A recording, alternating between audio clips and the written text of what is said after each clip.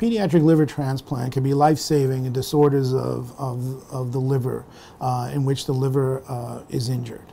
There's a number of reasons to require a transplant. So just because you have liver disease doesn't, need you, doesn't mean you need a liver transplant. You know, the main reasons to require transplant is number one, that the liver is, stops functioning. So liver failure, whether it be acute which means it occurs quickly, or whether it be chronic, a disease that affects the liver over time and causes it to fail. When the liver stops doing the functions that it needs to do, it's one of the reasons to consider replacing that liver with a new liver. The second reason, a common reason to need a transplantation, is if you have a structural injury to this liver. So instead of the liver being a nice sponge and being very soft and easy inflow of blood, it becomes a rock. It becomes scarred, a term called cirrhosis of the liver. Often that's heard with alcohol in pediatrics. That's certainly not the cause, you know. But there are other causes of, of, of fibrosis, progressive injury, and fibrosis, scar tissue in the liver that results in that liver being rock hard. Blood flow then diverts around that liver, causing uh, issues related uh, to uh, high pressure, which includes bleeding and and development of ascites. Um, the third reason that people can require a liver transplant or children can require a liver transplant uh, would include cancers. And there's a number of cancers that the only way they can be removed from the body is if the liver is removed as a whole. And then it needs to obviously be replaced because people can't live without their liver. Um, the last reason, which is less common, there are certain enzymes that the liver that function with the liver that some people are born without. And some of those enzymes can result in injury to other organs in the body. The liver that we actually remove is a healthy looking liver, but it is missing something crucial that affects how the body metabolizes certain proteins or lipids or other moieties, or uh, other things that circulate in our body. And in those cases, since we do not have an effective way to replace one cellular function of the liver, we need to replace the liver as a whole it's a big procedure, it's a big surgery. As, as any surgical procedure um, have risks. The risks are related to the immediate post-operative time or during the OR. It can be vascular complications, it can be biliary complications, it can be infections. And all this can go from mild to moderate to severe to life-threatening uh, complications. There are other complications that are long-term, and those are related to um, how this new organ do in the body. The patients can have rejections, uh, can have rejection uh, as a part of an autoimmune response um, to the new organ, or the patient can have complications related to the treatment or to the, uh, the use of immunosuppression. Then patients that are on lifelong immunosuppression can have infections or can have other side effects of the immunosuppressions that can be related to kidney damage, to the bone marrow damage, lung disease, hypertension, and, and it goes as far as the patients developing cancer, something called post-transplant lymphoproliferative disorder or PTLD that is a complication not of the transplant per se, but it's a complication of the medications that we use to prevent rejection. On the other side, we have to know uh, that there are benefits for these patients to get the procedure.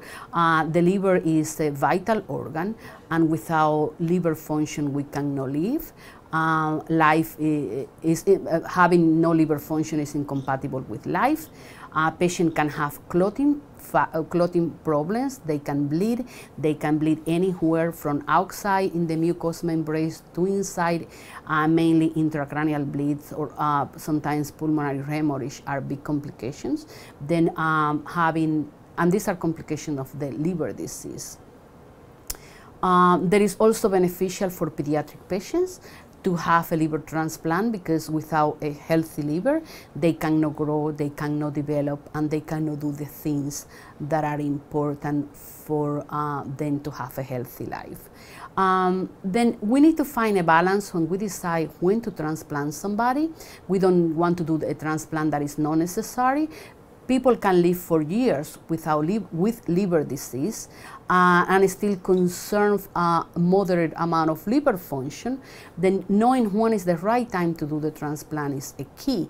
You don't want to wait until the patients are too sick or you don't want transplant patients that doesn't need a transplant. Once the medical team uh, makes a decision that a patient may be a candidate for liver transplant, the process of evaluation begins.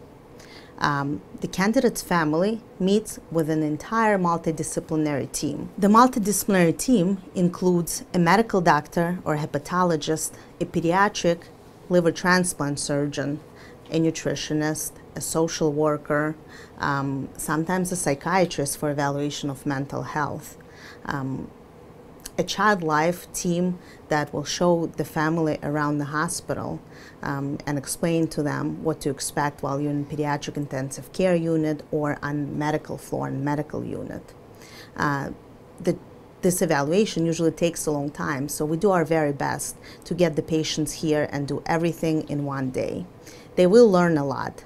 The medical surgical team will explain to them everything they need to know from A to Z about the process of transplantation, about potential medical and surgical complications.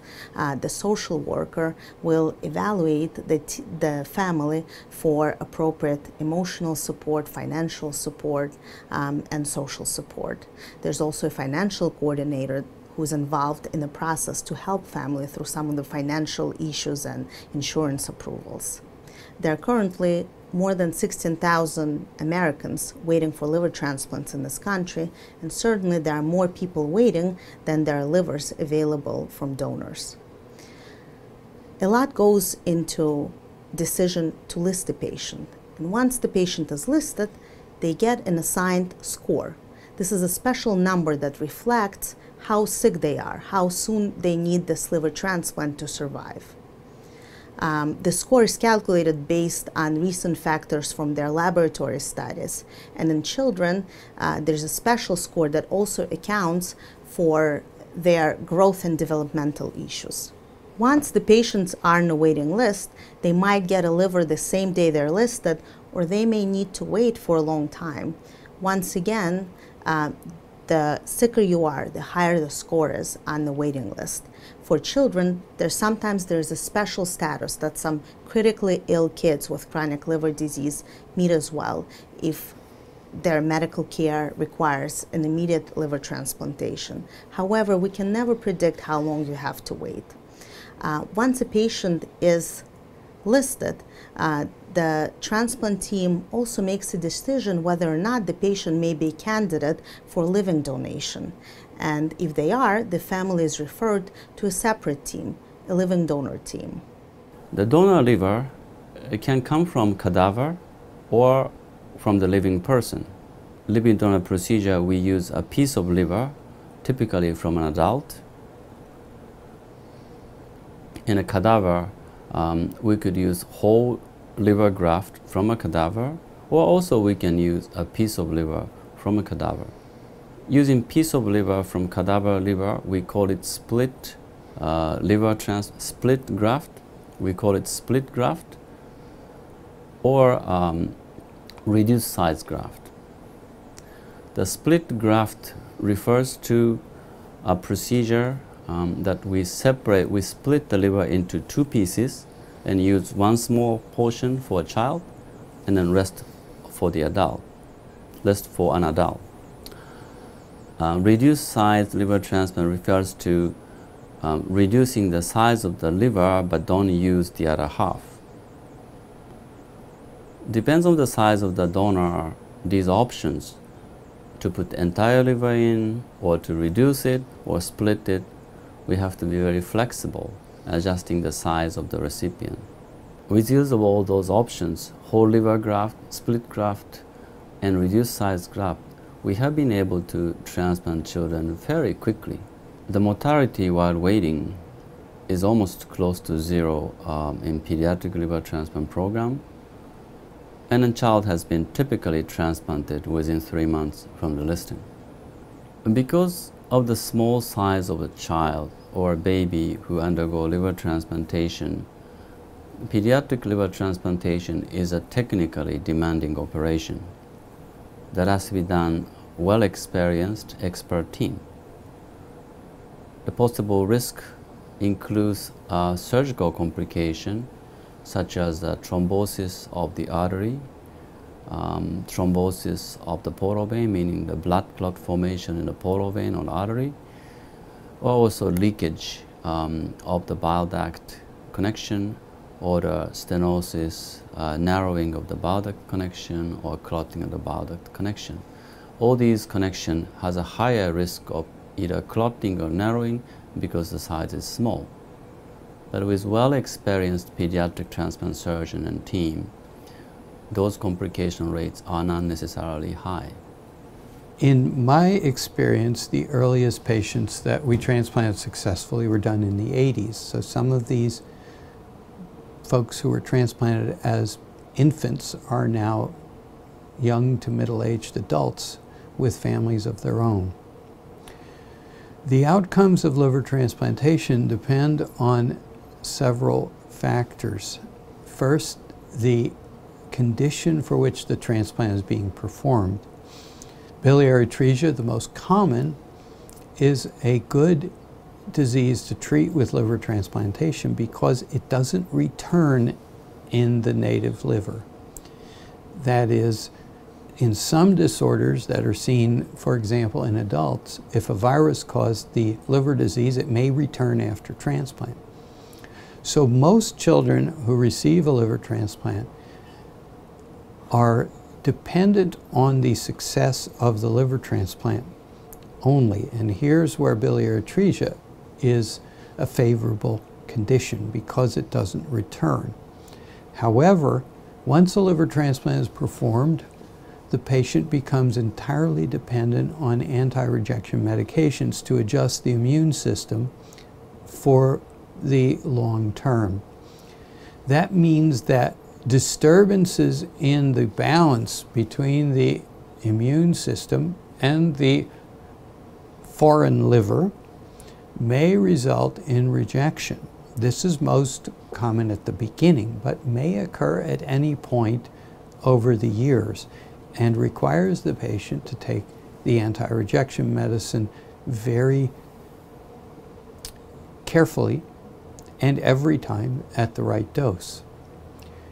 The long-term aftercare is the most important component in terms of the relationship between the patient, the parents, and the medical team providing that care.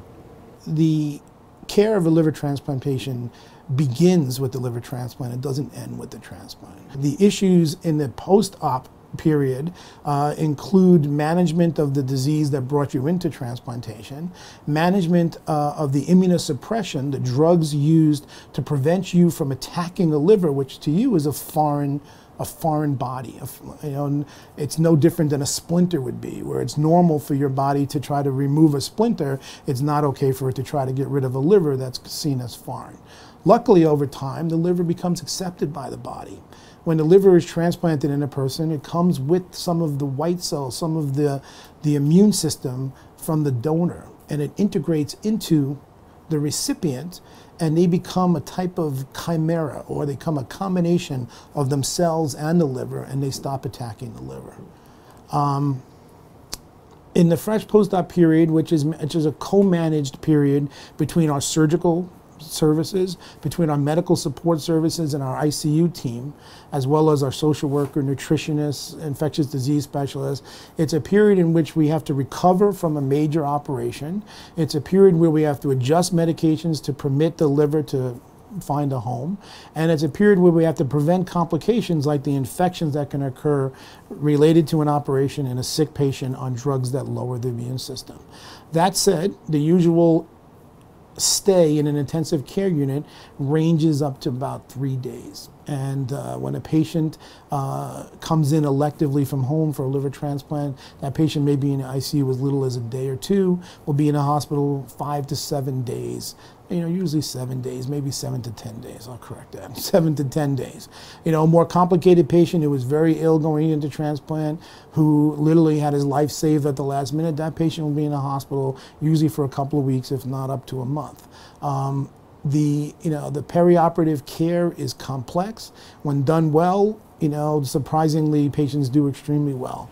Um, the care then continues in the outpatient setting and for the rest of the patient's life. We make a tremendous effort here to carefully transition our children as they grow up away from the children's doctors to the adult doctors, but without losing the tender, loving care and the attention to the whole patient that is nurtured throughout childhood. This is a difficult time for every uh, transplant team, and because our adult and pediatric teams work closely together, we're able to do this exceptionally well.